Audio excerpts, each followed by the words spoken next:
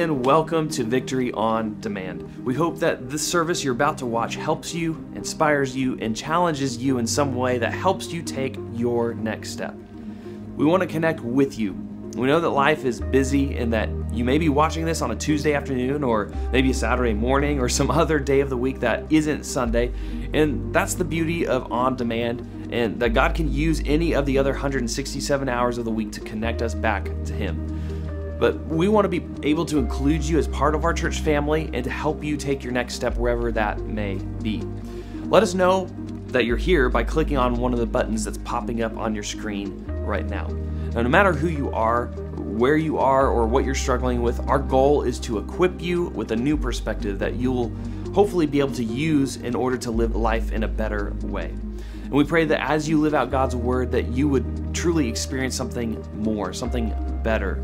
If you haven't experienced a live victory service yet, we invite you to visit victorycc.life for more information on when and where you can join us in person or online. We're so glad that you've chosen to be a part of Victory today, and we hope that you enjoy our service.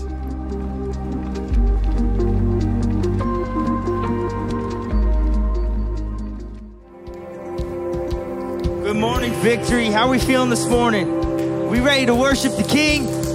Let's all stand and sing.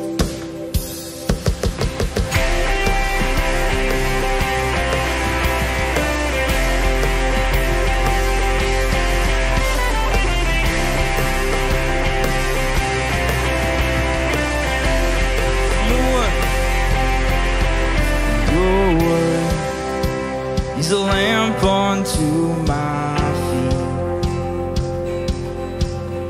Your way is the only way for me. It's a narrow road that leads to life, but I wanna be on it. It's a narrow road, but the mercy's right. She's given me promise. Come on! I'll take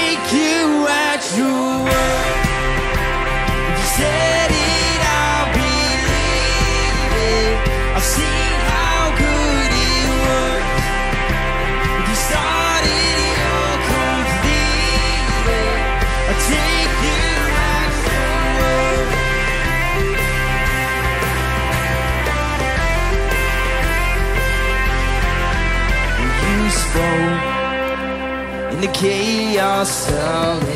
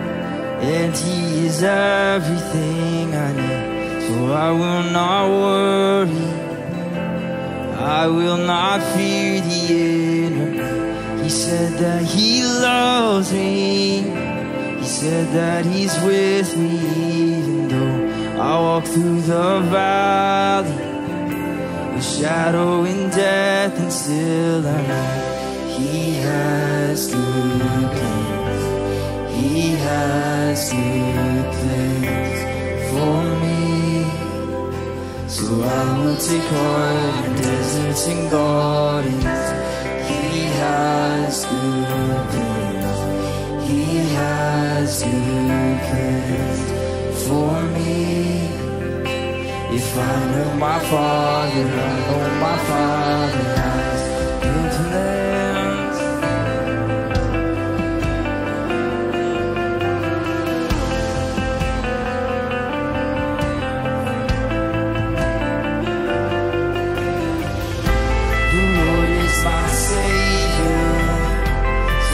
should I doubt my victory?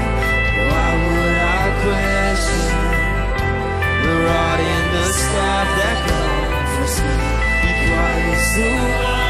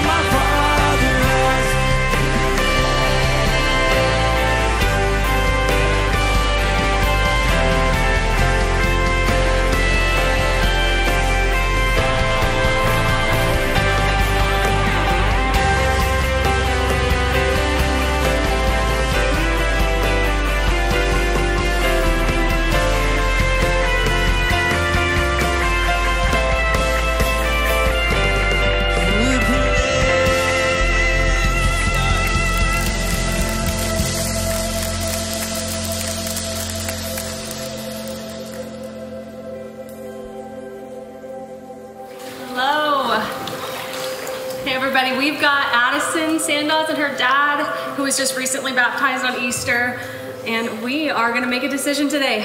You ready? All right, will you repeat after me? I believe I believe that Jesus Christ that Jesus Christ is the Son of the living God, is the Son of the living God, and I accept him and I accept him as my Lord and Savior. as my Lord and Savior. All right, Addison, because of your confession, I now baptize you in the name of the Father and Son and the Holy Spirit for the forgiveness of sin and the gift of the Holy Spirit.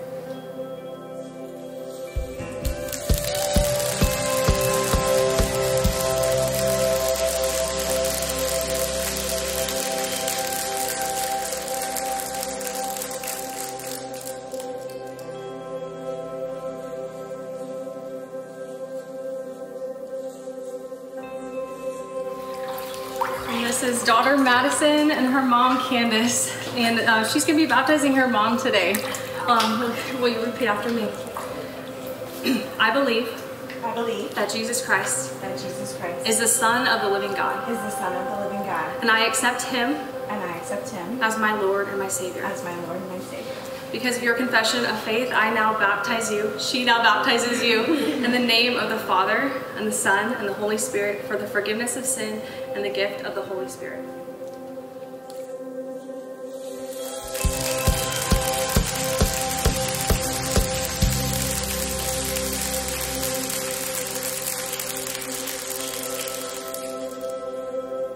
And this is Candace's other daughter, um, Annabelle. She has made the same decision today. She's also going to be baptized by her sister Madison. Will you repeat after me? I believe I believe that Jesus Christ Jesus Christ is the Son of the living God, is the Son of the living God, and I accept Him I accept Him as my Lord and my Savior. my Lord and my Savior. And Because of your confession of faith, Madison will now baptize you in the name of the Father, the Son, and the Holy Spirit for the forgiveness of sin and the gift of eternal life.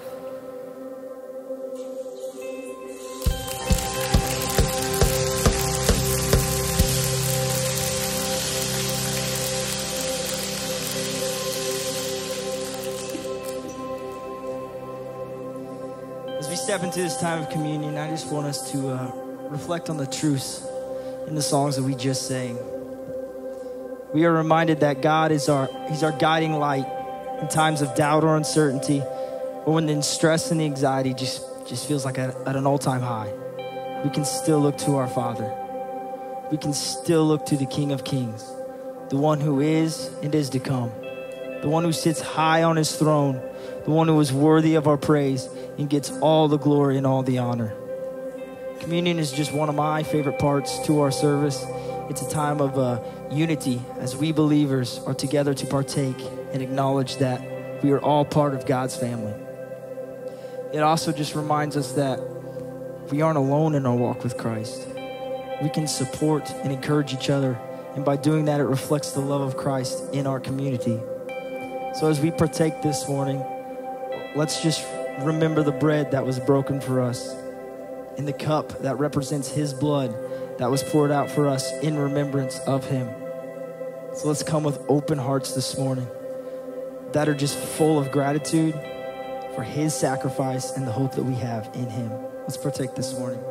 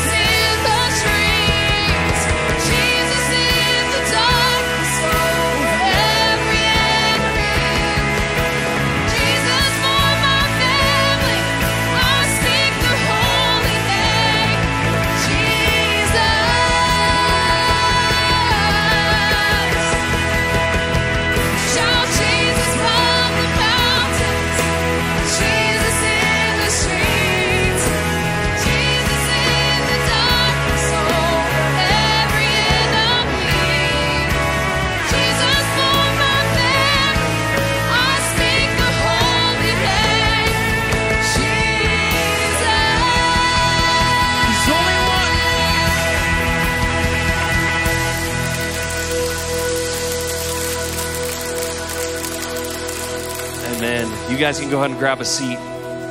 Speaking of Jesus, uh, we have the incredible opportunity to speak Jesus into the next generation. You know, I've been here a number of years and talked to many of you adults about uh, what it would look like to get involved with helping out the next gen to win in our student ministries. And, uh, and uh, we have great leaders that are there. But I also I often hear people say, "Oh man, that I, I could never work." With, that's that's that's a, a lot of personality. That's a, that takes a special person, you know. And I get it. I get it. But one of the ways that we can all help is to pray over the next generation to pray and speak Jesus into their lives in whatever way that we can.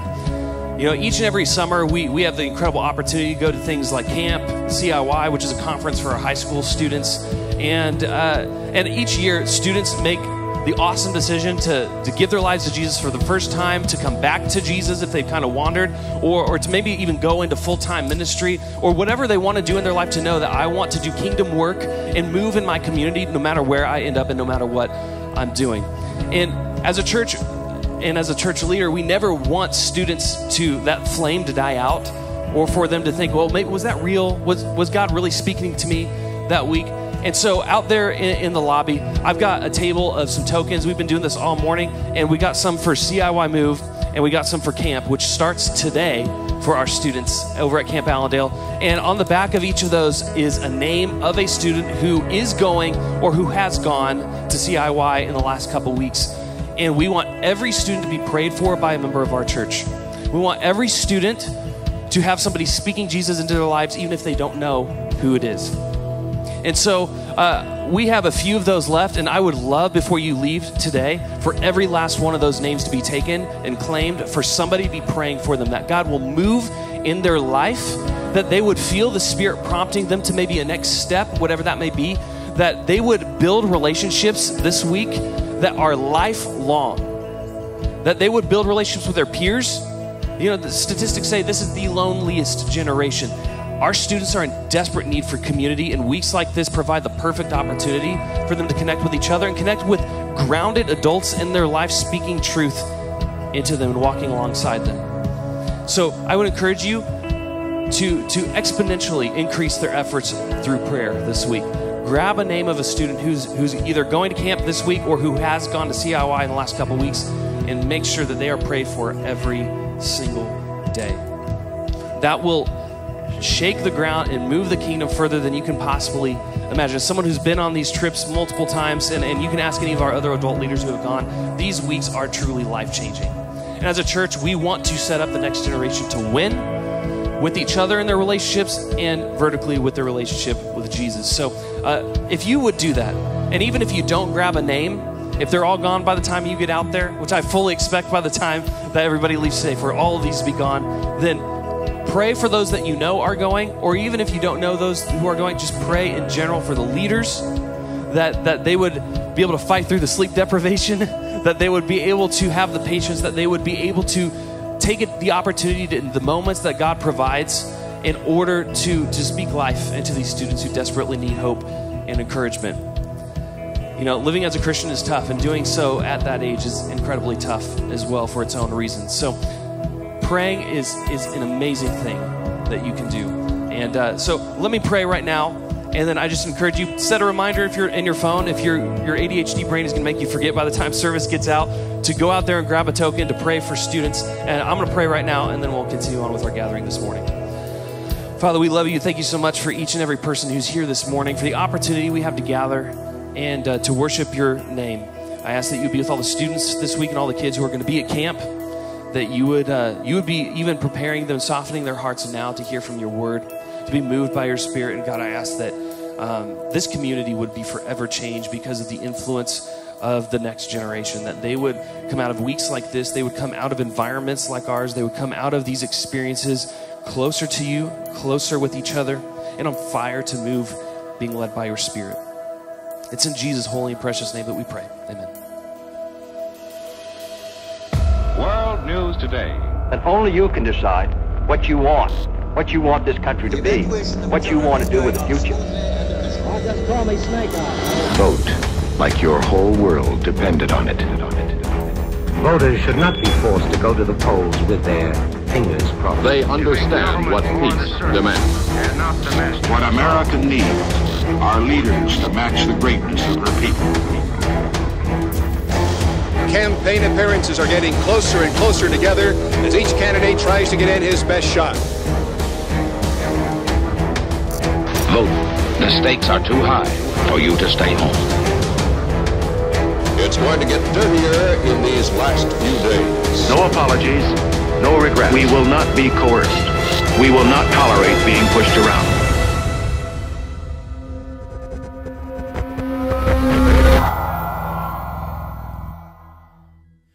Start off our time together, I think it's appropriate for me to just say, I love America.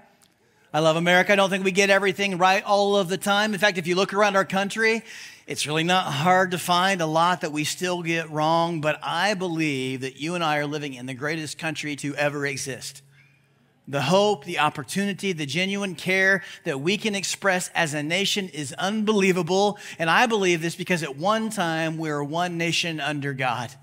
In 248 years, uh, that's the, how old we are, a lot has happened. There, there's been a lot over the years to be divided about, and it seems like elections only fuel the divide, fuel the accusations, fuel the hate. The elections actually seem to highlight some of the worst parts of America. I mean, just turn on your TV and watch the news, open up social media, or God forbid, watch a debate. Anybody do that? I mean, the hope of America and the future of America seems dim. In fact, our options so, are so bad that there's a teacher, an Army veteran from Texas. Have you heard about this guy? He's running for president. He legally changed his name to literally anybody else. True story. So when Texans go to vote, they have three choices Biden, Trump, and literally anybody else. So, what's a Jesus follower supposed to do? Like, how's a Jesus follower supposed to vote? How can Jesus followers avoid the election infection? Just so you're aware, today's message is for the Jesus followers. So if you don't follow Jesus, you don't have to do any of this, but I do hope it gives you some perspective. But if you are a Jesus follower, what I want to challenge you to do is something that Jesus followers have been challenged to do from the very beginning. I just want to challenge you to put your faith over your politics, to put your faith over your politics, to which you say, Josh, why would I do that? Well, let me just say it this way No Jesus follower believes that when they die, heaven is Washington, D.C. Like, no, nobody's thinking, hey, when I die, my eternal destination is going to be Washington, D.C. Like, no one's hoping for that. So, so, as a Jesus follower, you and I need to make decisions through the lens of, of heaven. So, I just want to challenge you to put your faith over your, your politics. In other words, I want you to look at the world, and I want you to make decisions in your life through the filter of your faith first. Meaning that as you and I approach November 5th, you are a Jesus follower first and a Republican second. You're a Jesus follower first and a Democrat second. You're a Jesus follower first and libertarian or independent second. And so that would mean that everyone who follows Jesus sees the world, makes decisions, cares about, interacts with people who disagree with them, even votes through the lens of our faith first. So, on our nation's journey towards November 5th, what we share, what we post on social media, the arguments that we might have at work or at our family gatherings, I just want to challenge all of us through all of that to put our faith over our politics. To which some of you are thinking, Josh, I am so glad you're talking about this because that's what I'm doing. That's what, I wish everyone would vote like me, post like me, think like me. Just, I'm so glad you're talking about this because those ignorant people need to hear this. I mean, how could anyone in their right mind follow Jesus and not be a Republican? I mean, the reason I'm a Republican is because I'm a, a Christian. Just, don't you know that God is always on the right? And Jesus up in heaven, he's at the right hand of the Father. I mean, God and Jesus have to be Republicans. They're always right. And it's hard to, it's not hard to twist scripture to fit our viewpoint, is it? I mean, there's even biblical evidence that Jesus cares for Republicans. Remember, Jesus called Matthew to be his follower, and Matthew was a tax collector. A tax collector, another word for tax collector is publican. It's like, Republican? Yeah. I mean, it's almost right there in the Bible, Josh. And, and if that wasn't enough, when Jesus goes to Matthew's house and all of the Pharisees are hanging out, Jesus makes this statement. He says, it, it, it, it's, it's right there in the text. Jesus says, it's not the healthy who need the doctor, but the, the sick. And I've not come to call the, the right, right? But sinners to repentance. So, Josh, it's like right there, almost kind of in the text. Uh, we're right, and there's a bunch of sinners. So, put my faith over my politics all day, every day. I'm right. I'm a Republican. I'm, he, we, this country, we need to save this country from those sinners. Now, if you're a Democrat, you're thinking, are you kidding me? Right? Jesus was a healthcare dispensing machine. Everywhere he went, he gave out free healthcare. He, he never turned anyone away and he never charged. Josh, Jesus is always challenging the rich rich on their obligation to the poor and humanitarian aid. Oh my gosh, Jesus gave out humanitarian aid everywhere he went. Did you read about the feeding of the 5,000? It's in all four gospels. Not only, Josh, if you read the New Testament, you know this God's love has no borders. So put your faith over your politics all day, every day. Uh, just can it be any more obvious? Jesus was clearly a Democrat. And if you're a libertarian, you're like, really? I mean, I know the most famous verse is John 3:16, but another famous verse people quote all the time is you will know the truth and the truth will set you what? Free as in liberated, right? Not only that, but in First Thessalonians, it says you should mind your own business. It's like right there in the Bible. So put my faith over my politics all day, every day, right? God's clearly a libertarian, right? Have I twisted enough scripture? Have I offended enough people? Is everyone a little uncomfortable about what I might say next? Good, good. Now, historically speaking, just the, the, the, third party has never produced a president. And not only that, but you guys probably know this that the Democrat Party and the Republican parties have not always stood for the same things that they do today. So, in fact, historically speaking, America's two dominant parties have flipped ideologies since they were founded. In fact, the Democrat Party was founded in 1828 and the Republican Party was founded in 1854. And, in its early years, the Republican Party was considered, considered liberal and progressive, while the Democrats were known for their staunch conservatism. I mean, and check, check this out. This is like a real Instagram infographic. It's, it's in your notes, it's on your app. But over time, and I know this oversimplifies it, but over time, historically speaking, so not my opinion, historically speaking, they've flipped sides. Now, it didn't, the changes didn't happen overnight. Instead, it was a steady, sh- slow changes were the policies that have caused the great switch. In fact, at one time, Democrats were known for small government, fiscal conservative, and they were pro slavery. While the Republicans at one point were known for high taxes, big government, progressive, and, and government spending on social issues. But culture had changed. And over time, the Democrat Party began to know, be known for pro expansion of government, pro government spending, and pro civil rights, where the Republican Party was wanting to reduce taxes, create smaller government, and cut, or more conservative, and cut spending on, on social issues. And all of that to say that as we start to think about November 5th, even the parties that have had power in America, they, they've flipped sides. That they flip sides. So, meaning, depending on when you were born, you might be a strong supporter of the opposite party that you support today. It's just possible. And all of that should remind us that if our faith is in our politics, it is shaky ground. It, it changes, it, it's shifting. Not only that, but no political party is completely aligned with Jesus. Like you understand that, right? No political party is completely aligned with Jesus. Why? It's because Jesus didn't come to take sides, He came to take over. And so, historically speaking, that's what made the Jesus followers a threat because they pledged their allegiance not to a country. They bowed their knee, they leveraged their lives, they were willing to sacrifice everything to follow a crucified king. So, historically speaking, the reason the Roman government was so hostile towards Christianity was not because Christianity was a religion. In fact, in Rome, they had hundreds of gods. They had all kinds of religions. And the reason the Romans were hostile to the Jesus followers as they spread all over the Roman Empire is because in the first century, Christianity was not a religious term, it was a political term. In fact, in Rome in the first century, the reason Jesus' followers were persecuted and the reason Jesus' followers, like you and I, were executed was because of their, not because of their religious beliefs, but because of their political beliefs. And no, it was not Republican and Democrat. These first followers of Jesus were persecuted because they pledged their allegiance not to a country. They were willing to sacrifice everything to follow their crucified king.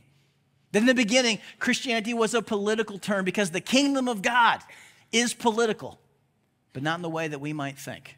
See, if you follow Jesus, that means that you and I wake up every day knowing. We, we live every day knowing. We make every decision knowing. I, I, I support a new king. Uh, he's the Lord of my life. My life is not my own. Meaning, Jesus followers believe the White House, the White House is not heaven, and the president is not God. Jesus didn't come to take sides, he came to take over. And this might shock you, but, but God doesn't stand for our national anthem. He's a king of a better kingdom, an enduring kingdom. And those first followers of Jesus were persecuted because they were willing to pledge their allegiance not to a country, but to this crucified king. In fact, when you read the New Testament, you discover Jesus claimed the right to rule over every one of our lives as a king. Now, this concept seems so lost on so many of us when we sit in church, and when we go to church, we think it's, oh, this is all about religion. We sit in church, we think, we try to gauge our own personal morality. But every Christmas, when you and I read the, the birth narrative in Luke chapter 1, we, have been reading uh, Luke this, this week uh, in the New Testament reading plan. Hopefully, you're doing that. We just finished week 27. If you want to start, week 28 this week. But, but Luke 1 was written around 5 BC when we read, A king is born. And every Christmas we normally skim over it, but, but this is how Luke records it. He says, Do not be afraid, Mary. God is very pleased with you. You'll become pregnant and you will give birth to a son, and you must call him Jesus, which is the English name of the Latin name, of the Greek name that came from the Hebrew name, Yeshua. It's a name I like. It means Joshua or leader or warrior. So, so in the manger is a leader, in the manger is a warrior. And the angel goes on to say, He will be called, uh, he be called the Son of the Most High God. So this is like royal language. This is like a royal title. He will be the son of the supreme king of the universe. And if there was any doubt about his royalty, listen to this next part. He says, the, the Lord God will make him a what? A king as his ancestor David was. That's Israel's second king. And he will be the king of the descendants of Jacob for how long? Forever. And then the angel makes this promise his kingdom will never end. Now, in the Greek text, it comes across a little bit stronger than that. It literally reads a little bit something like this And of his kingdom there shall not be an, an end. Your son will always be a king, he, he will always have a kingdom. Now, if you follow Jesus, the fact that Jesus will always be a king should give you and I confidence. It should give us hope. It should give us a firm foundation. So that means that even though our options really are bad here on earth um, when it comes to Republicans or Democrats, uh, the, right? They, they even change their positions and their opinions, but our king never changes. His commands never change. His promises never change. His grace never change. His rule never fails. And so that should give us confidence to follow him even when it's difficult. Now, this might surprise you. But when you read the New Testament, the kingdom of God and the kingdom of heaven, it's both are referring to the, the exact same thing. They're all over the place. The kingdom of God refer, occurs 68 times in the New Testament, and the kingdom of heaven occurs 32 times in the book of Matthew alone. The kingdom of God is the centerpiece of Jesus' teaching. And so this is so different from how we think, because when you and I think about God, we think about what? Religion. When we think about God, we think about morality. When we think about God, we think about the church. But Jesus came to show us who God is and what God is like. And Jesus would tell you, oh, you're just not seeing clearly. Because then when Jesus talks about God, he uses the idea of a, of a kingdom that Jesus came to establish an others first kingdom, a kingdom of conscience, a kingdom of heart, a kingdom that would reign over every language, every nation, every generation forever. And so much of America has just been lulled to sleep. But you need to know from the very beginning of Christianity, this was not about a religion, this was about a revolution for the hearts and the minds of his followers. In fact, in a town about 300 miles north from Jerusalem in Antioch, one of the three largest, wealthiest cities in the Roman Empire at the time, in the city of Antioch, a new term was being coined by people to describe something that was happening in their city. It was a response to this new political movement the Greeks and the Romans were choosing to follow and swear their allegiance to a brand new king. They referred to him as the anointed one, the Messiah, the Christ. My translation, God's final king. And that upset the Roman Empire. Because this king, uh, they, they were swearing their allegiance to, had been crucified about 10 years earlier, meaning that they didn't just believe he was a king, but because of the eyewitness testimony of the resurrection, they actually believed that he was a God. Now, it's so important for us to understand in the first century, the secular and the spiritual were two completely different realms. They, they kept the separation of religion and, and life, and so they actually believed that the gods, they didn't care how you behaved. So you could go to church and hook up with whoever you want. You could go to church and gossip about whoever you want. You could go to church and have sex with whoever you want men, women, relatives, siblings. I didn't care. Live however you want. Just ask for forgiveness later. See, Rome didn't care who you worship. You could worship your ancestors. You could worship tribal deities. You could worship statues. You could worship Poseidon. You could worship Zeus and sing songs. Sing, sing all day to whoever you want. In fact, their motto in Rome went a little something like this to all the people in the empire worship your gods, but obey Caesar. Worship your gods. I don't care who you sing songs to. I don't care who you worship. I don't care who you sacrifice to or what their names are. Worship your gods, but at the end of the day, you better swear your allegiance to Caesar. Obey Caesar. But in Antioch, in Antioch, there's this group of Greeks and Romans where the divine and the secular just collided in the person of a Jewish rabbi.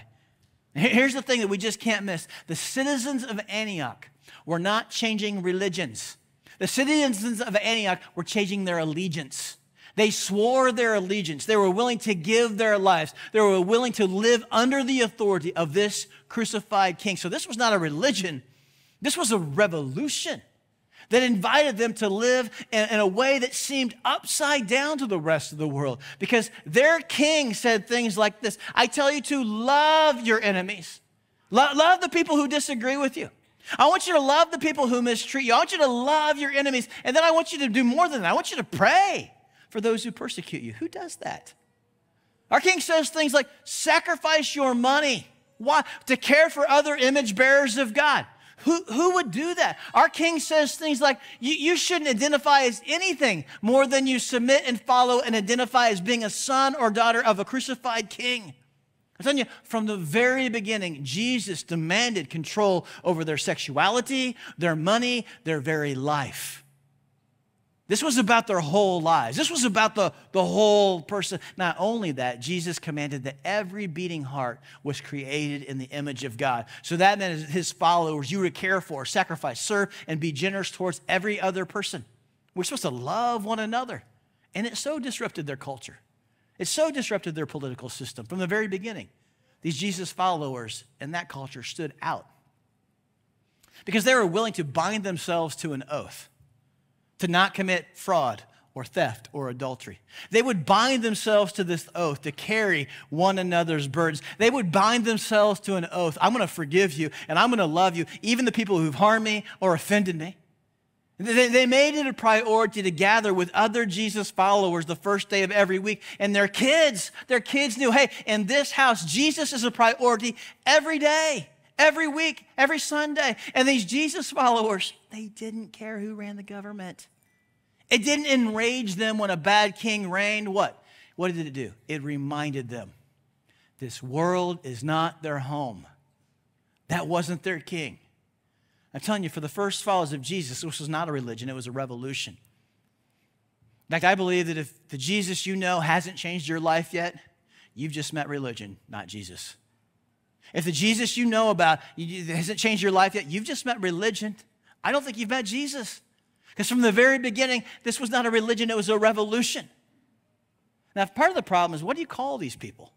like they called themselves disciples or followers of the way, but, but Luke, who wrote the historian who wrote Luke and the book of Acts, he, he says that it was in this city, it says in Antioch, they were finally given a name. It says the disciples were accused of being what? Christians. They were called Christians first at Antioch. Now, this is important. They weren't branded Christians to differentiate themselves from other religious people of the day, the, the Zeusians or the Jupiterians. I made those up. Like, they didn't even have those terms, right? This was clearly used to describe someone who followed a political party because in the first century, you could be called a Caesarian, a follower of Julius Caesar, or a Herodian, a follower of Herod, or a Christian, a follower of Christ, God's final king. In fact, to be a Christian in the Roman Empire would eventually become a crime. Not because of what you believed, not because of where you went to church, because being a Jesus follower was seen as anti Roman. From the very beginning, this was not a religion, it was a revolution. Because when a king is born, when a king is born, people have to choose. When a king is born, people have to choose. And Jesus didn't come to take sides, he came to take over. So if you follow Jesus, I just want to challenge you. Put your faith over your politics. I'm challenging you with your decisions, with your interactions with others, when you care how you respond, with your vote. Just answer the question Is Jesus my king? Is Jesus my king? Is Jesus my king? See, I have a feeling this election cycle is going to feel even more toxic and hopeless. I, I think this thing is just ramping up and it's going to get divisive. And as a Jesus follower, that should not enrage us. It should remind us this world is not our home. Now, I don't normally do this, but I'm just going to give you some advice in this season. I normally stay away from this. I'm going to give you some voting practices that I would give to my kids. So do with this whatever you want. I've got five voters coming to my house. So because I care about you, I just, I'm just going to share with you. So, number one, pray and invite God into the process. As we point our lives to November 5th, I want you to pray for God's wisdom, pray for God's will over my will, pray for God to change my mind if needed, invite God in the process, and then ask Him to give me peace with whatever the result is.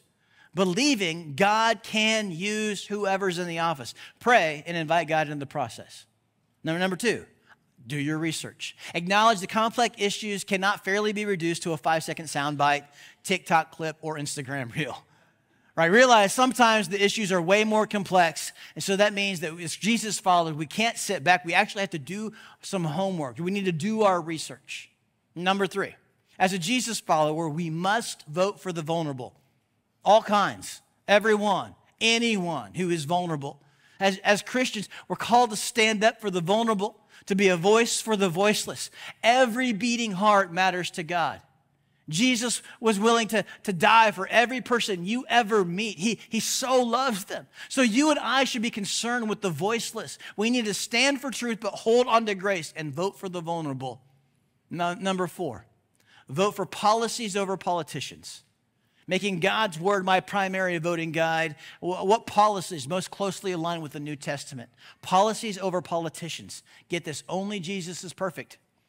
Meaning, and I hope this doesn't shock you, this season we have no perfect candidates. So vote for policies over politicians. Number five, have perspective. Remember, God is in control. And God has a track record. We can look throughout history. If the candidate who wins is immoral or incompetent, historically speaking, it's not the end of the world. I mean, just, just read history. God has used the wicked and the incompetent to accomplish his eternal plan. So just have some perspective on the kingdom you really are allegiant to.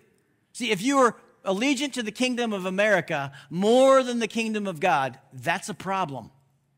This world is not your home. I know there's a lot of unknown. I know there's a lot to be unsure of. I don't know what's next. But the nail scarred, resurrected feet of my King repeatedly reminds me fear not. Fear not. And we can walk in confidence, but we can only do that when we have the perspective of who's in control. Finally, re- remember your witness. I love this country, and I really do believe that this election is important. I do. But some of you are losing your eternal perspective. You're willing to risk the eternal impact over a four year presidency. To which you say, Josh, you're blowing this out of proportion. No, I'm not. Four years ago, I saw your post on social media and I had to talk with the people who were leaving our church because of it. So I'm not saying don't vote, and I'm not saying don't have an opinion, and I'm not saying have good conversations with people. I'm just saying stop posting angry memes or starting arguments on social media. It doesn't work. I've read thousands of angry political posts from both sides. Do you know what I've never read?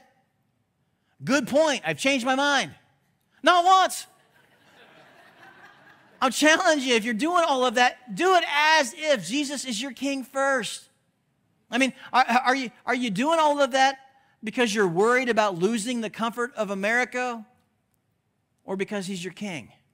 So remember, we're, we're witnesses. I just don't want you to lose your eternal impact by jumping into a toxic debate to broadcast your opinion over a four year presidency. See, I, I, love America, and one of the things I love about America is simply this my opinion doesn't count, my vote does. My, my opinion, it doesn't count, but because of the, so, the sacrifices of so many men and women in our military, my vote actually does. So, why would I give up my eternal influence with the people who, who, who just want to argue with me when, when they can't take my vote away from me?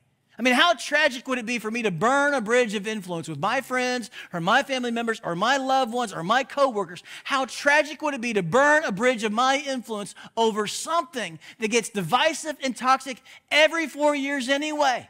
I mean, think about it this way you don't even know who the 21st president is. And eternally, it probably doesn't even matter. If you're a Jesus follower, here's what you believe this is a rescue mission. And so that means that you and I should never give up our influence unnecessarily.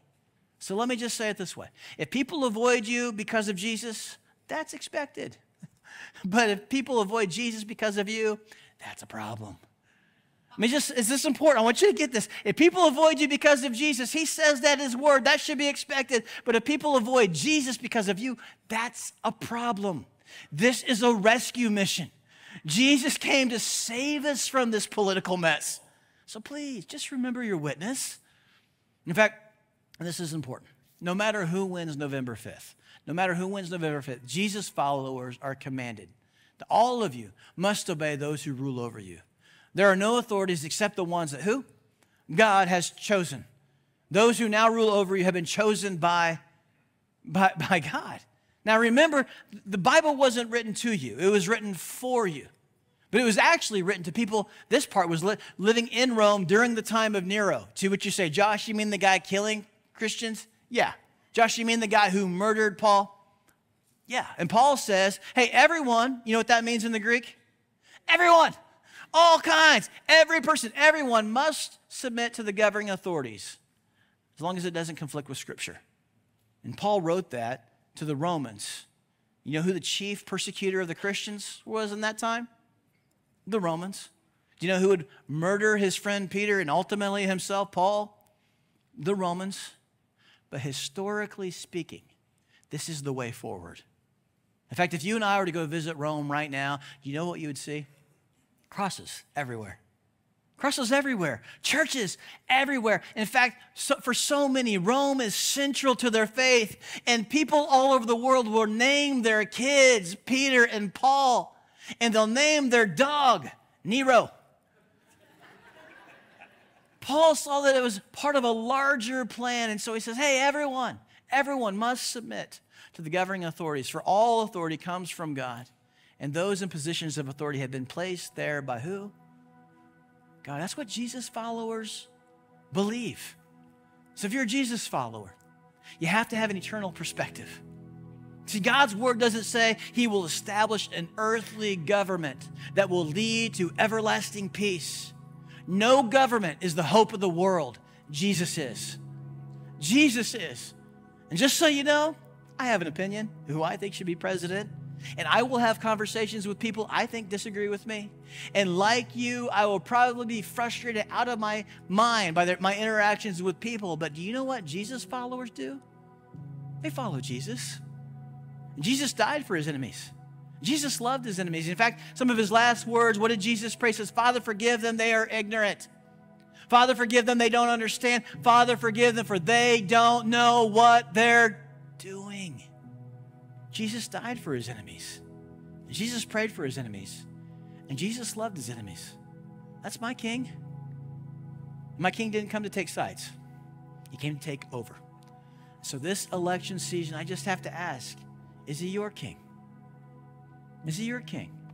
And if he is, as we point our lives towards November 5th, I just want to challenge you. If he is, just put your faith over your politics. You pray with me?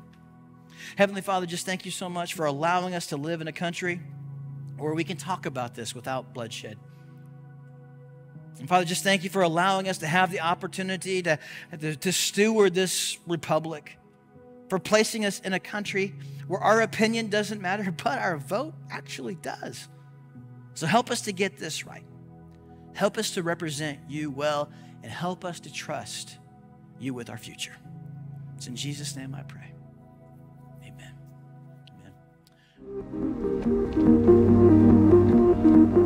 Thank you so much for joining us for Victory on Demand. Here at Victory, we believe that we all have a next step, and we pray that God uses what you've experienced here today to stir something in your life and to lead you to the next step in your faith journey, whatever that may be. If you'd like to talk to someone about taking your next step, please let us know by clicking the button that's popping up on your screen right now. Here at Victory, we're contributors, not just consumers, and we consider it a privilege to give back what God has so freely given to us. We celebrate generosity in the work that God does through our sacrificial giving in our community and around the world. If your experience today has helped you or blessed you in any way, we invite you to partner with us financially in our vision of connecting people back to God by going to victorycc.life/give. Again, if you haven't experienced a live victory service yet, we invite you to visit victorycc.life for more information on when and where you can join us in person or online. Remember, here at Victory, we don't just go to church, we are the church everywhere we go. We'll see you next time.